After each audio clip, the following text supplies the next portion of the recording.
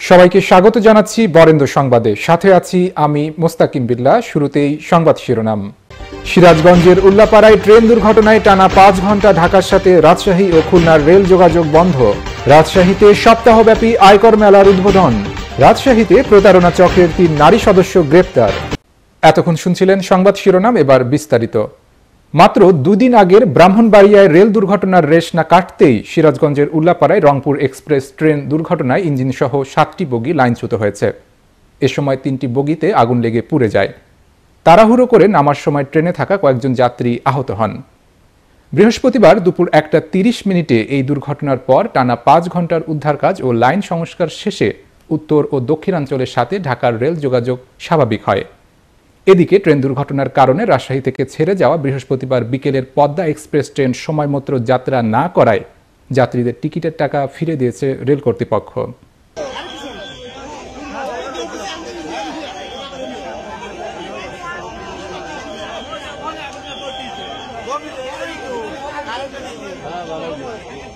Train দুর্ঘটনার পর স্থানীয় দমকল বাহিনীর সদস্য সহ এলাকাবাসীর সহযোগিতায় এক ঘণ্টা চেষ্টায় বগিগুলোতে লাগা আগুন নিয়ন্ত্রণে আসে।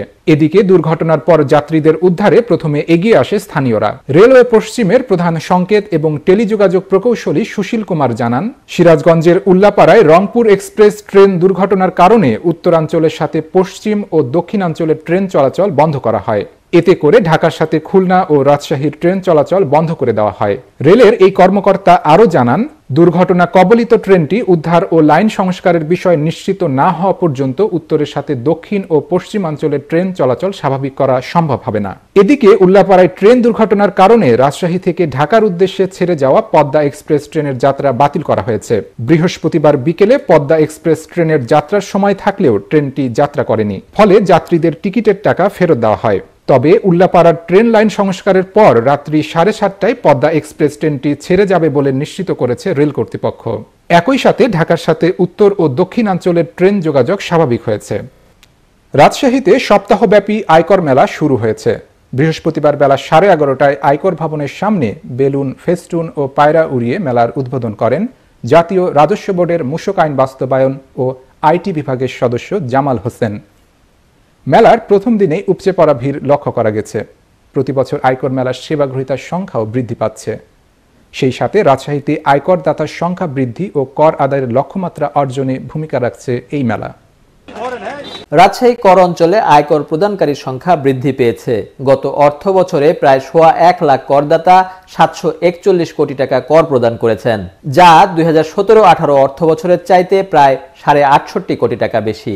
রাজশাহী কর অঞ্চলের প্রায় আড়াই লাখ মানুষ বর্তমানে আয়করের আওতায় এসেছেন। এই অর্থ বছরে যা আরও বৃদ্ধি পাবে। রাজশাহী অঞ্চলে কর আদায় বৃদ্ধির পেছনে অন্যতম কারণ হিসেবে কাজ করছে প্রতি বছর অনুষ্ঠিত হওয়া এই আয়কর মেলা। এদিকে মেলা প্রাঙ্গণে বসে আয়কর সংশ্লিষ্ট সব ধরনের সুবিধা থাকায় অধিকাংশ করদাতাই এই আয়কর মেলার জন্য অপেক্ষা করেন। আমি এখানে করে সহজ হয় এই মেলায় কর জমা দেওয়া। আর কি। আর অন্য সময় আসতে হলে বিড়ম্বনায় পড়তে হয়। এই জন্য আমরা সেদিনই এসে কর জমা দিই। মেলায় কর দেওয়ার সুবিধা এখানে ব্যাংকের বুথ থাকে। পাশাপাশি এখানে বিভিন্ন রকম সুযোগ সুবিধা পাই। যদি কোনো প্রশ্ন জানার থাকে এখানে শর্টকাটে প্রশ্নটা জানে সে অনুযায়ী আমি করটা দেওয়া সহজ হয় অল্প সময়ের মধ্যে। মেলায় তারা উৎসব মুখর পরিবেশে কর পরিশোধ করেন। রাজশাহীতে গত বছর এই মেলা থেকে ছেষট্টি হাজার মানুষ আয়কর সংশ্লিষ্ট বিষয়ে সেবা নিয়েছেন। মেলায় সেবা গ্রহীতার সংখ্যা প্রতি বছরই বৃদ্ধি পাচ্ছে।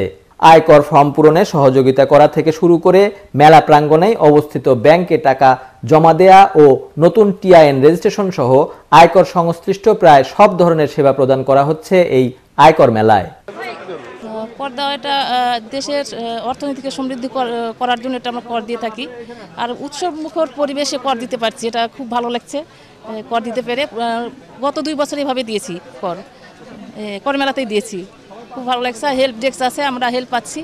শুরুতেই আমাদের প্রত্যেকটা ডেস্কে এই করা আছে আর কি নির্দেশনা দেওয়া আছে যে কোথায় যাব কীভাবে কর দিব এখানে ব্যাংক আছে দিতে পারতেছি খুব ভালো লাগছে। রাজশাহী অঞ্চলের কর কমিশনার ডক্টর ফেরদৌস আলম জানান দেশের রাজস্ব আহরণের দ্বিতীয় উৎস আয়কর বিভাগ।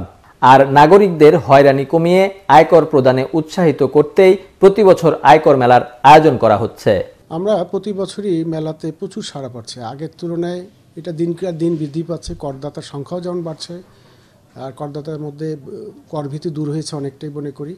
আর আমাদের মেলাটা স্বচ্ছ একটা ব্যবস্থা। এখানে কর পরামর্শ কেন্দ্র আছে একই মানে একই ছাতার নিচে আর কি সব কিছু পাওয়া যাচ্ছে সুবিধা।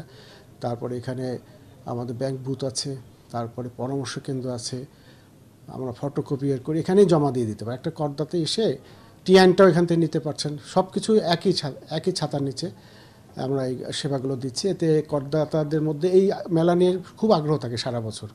এবং এটার জন্য অনেকে বসে থাকেন। এই রিটার্ন দেওয়ার মৌসুম, এই এই মৌসুমটাই রিটার্ন দেওয়ার মৌসুম। এই আগামী তিরিশ তারিখে লাস্ট ডেট করদাতা এই বছরের জমা দেওয়ার। তো এই সময় করাটা করদাতাদের খুবই সুবিধা হয়েছে এবং সবাই খুব উৎসাহ। আমি প্রথম দিনে যেভাবে ব্যাপক সাড়া পেয়েছি, আমাদের আরও সাত দিন প্রচুর পরিমাণে করদাতা বাড়বে। গত বছর প্রায় লাখখানিক করদাতা আমাদের এসে সেবা নিয়েছেন এখান থেকে। আমাদের আর এই বছর আরও নটা জায়গায় হচ্ছে রাজশাহী ছাড়াও আর চারটা জেলা এবং উপজেলা পর্যায়ে চারটা দুদিনের প্রোগ্রাম আছে। সব জায়গায় ব্যাপক সাড়া পাচ্ছি এবং করদাতারা এখানে মানে স্বচ্ছতা, আমি সবচেয়ে মনে করি যে এই সময় হয়রানিমুক্ত পরিবেশে স্বচ্ছভাবে, স্বচ্ছতার সাথে আমাদের যে ব্যবস্থা রেখেছি, এতে করদাতা আনন্দিত এবং তারা পুরো বিষয়টা সুন্দরভাবে গ্রহণ করেছেন এবং তারা সহযোগিতামূলক মনোভাব নিয়ে কাজ করছেন। চোদ্দ তারিখ থেকে রাজশাহীতে শুরু হওয়া আয়কর মেলা চলবে আগামী বিশ নভেম্বর পর্যন্ত। দুর্নীতিমুক্ত ও ডিজিটাল বাংলাদেশ বিনির্মাণে কর অঞ্চল রাজশাহী আয়োজিত এই আয়কর মেলা গুরুত্বপূর্ণ ভূমিকা রাখছে। সেই সাথে নাগরিকদের আয়কর প্রদানের মাধ্যমে দেশ অর্থনৈতিকভাবে স্বাবলম্বী হয়ে উঠবে এটাই প্রত্যাশা সকলের। রাজশাহীতে প্রতারণা চক্রের তিন নারী সদস্যকে গ্রেপ্তার করেছে পুলিশ। বৃহস্পতিবার সকাল সাড়ে দশটার দিকে নগরীর সাহেববাজার জিরো পয়েন্ট এলাকা থেকে তাদের গ্রেপ্তার করা হয়। গ্রেপ্তারকৃতরা হলেন বাগমারার তেগাছি এলাকার মেহের হোসেনের মেয়ে মর্জিনা বিবি, মর্জিনার সহযোগী নগরীর কেদুরমোড় এলাকার তসলিমার মেয়ে সুমি বেগম ও টিকাপাড়া এলাকার মর্জিনা বেগম। ভুক্তভোগীর পরিবারের মতিহার থানায় করা মামলার প্রেক্ষিতে অভিযুক্তদের আটক করা হয়। মতিহার থানার ওসি হাফিজ মামলার বরাত দিয়ে জানান, নগরীর কেদুরমোড় এলাকার সুমির বাড়িতে রাজশাহীর একটি সরকারি ব্যাংকের সিনিয়র অফিসারকে ডেকে নেয়। এ সময় প্রতারণার ফাঁদে ফেলে জাপটে ধরে জোরপূর্বক ছবি ধারণ করে। পরে এ নিয়ে ওই ব্যাংক কর্মকর্তাকে ব্ল্যাকমেইল করার চেষ্টা করে অভিযুক্তরা। এই ঘটনায় ভুক্তভোগী ব্যাংক কর্মকর্তার ছেলে বাদী হয়ে নগরীর মতিহার থানায় পনেরোই অক্টোবর মামলা দায়ের করেন। আর সেই মামলায় এই তিন নারীকে গ্রেপ্তার দেখানো হয়েছে বলে নিশ্চিত করেছেন মতিহার থানার ওসি।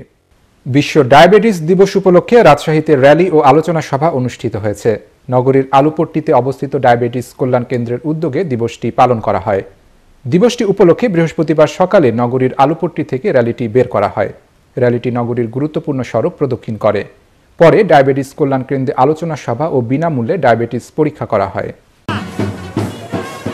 এদিকে দিবসটি উপলক্ষে বৃহস্পতিবার নোয়াখালী ডায়াবেটিস সমিতির উদ্যোগে শোভাযাত্রা আলোচনা সভা, ডায়াবেটিক সচেতনতা মেলা ও বিনামূল্যে ডায়াবেটিক পরীক্ষা ও চিকিৎসা সেবা দেওয়া হয়। নোয়াখালী ডায়াবেটিক সমিতির সাধারণ সম্পাদক অ্যাডভোকেট এ বি এম জাকারিয়ার সভাপতিত্বে ও সহ সাধারণ সম্পাদক অ্যাডভোকেট ফিরোজ আলম আজাদের সঞ্চালনায় আলোচনা সভায় প্রধান অতিথি ছিলেন জেলা প্রশাসক তন্ময় দাস। বিশেষ অতিথি ছিলেন পুলিশ সুপার আলমগীর হোসেন সহ অন্যান্যরা। পাবনা সদর থানা এলাকায় রাস্তায় থাকা একটি পিকআপ ভ্যানে অভিযান চালিয়ে একশো চুয়ান্ন কেজি গাঁজা উদ্ধার করেছে র্যাব। এ সময় আরিফ হোসেনকে আটক করা হয়। আরিফ কুড়িগ্রাম রৌমারী থানাধীন বেহুলার চর গ্রামের আবুল হোসেনের ছেলে। র্যাব পাঁচ এর কোম্পানি অধিনায়ক মাইনুল ইসলাম জানান, বুধবার রাত্রি আনুমানিক সাড়ে এগারোটায় পাবনা সদর থানাধীন দাপুনিয়া ইউনিয়নের মাতপুর গ্রামের রাস্তায় অভিযান চালায়। এ সময় রাস্তায় থাকা পিকআপ ভ্যানে তল্লাশি চালিয়ে একশো চুয়ান্ন কেজি গাঁজা সহ আরিফ হোসেনকে আটক করা হয়। আরিফের বিরুদ্ধে মাদকদ্রব্য নিয়ন্ত্রণ আইনে মামলা করা হয়েছে বলেও নিশ্চিত করেছে র্যাবের এই কর্মকর্তা। এই ছিল আজকের বরেন্দ্র সংবাদে। এতক্ষণ বরেন্দ্র সংবাদের সাথে থাকার জন্য সবাইকে ধন্যবাদ।